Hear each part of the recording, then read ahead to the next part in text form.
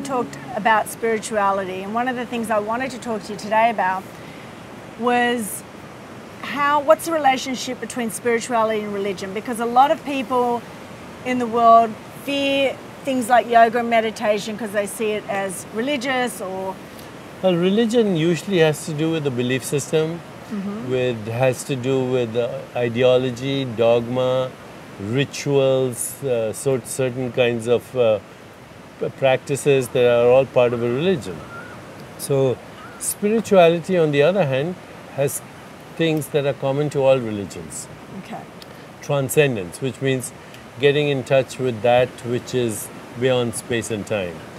The emergence of platonic values like truth, goodness, beauty, harmony, love, compassion, joy, mm-hmm. equanimity, and the loss of the fear of death.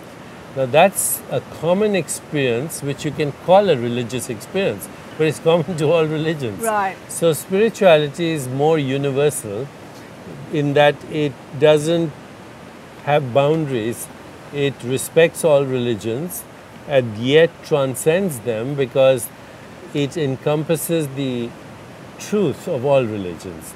You know, all religions say you have to love your neighbor as yourself, right, right. you have to be loving, compassionate, you have to forgive, you have to get in touch with your inner silence, mm-hmm. and on and on. So, spirituality is all those things, but not as a belief system or as dogma, but something that happens quite naturally right. to you when you get in touch with your soul.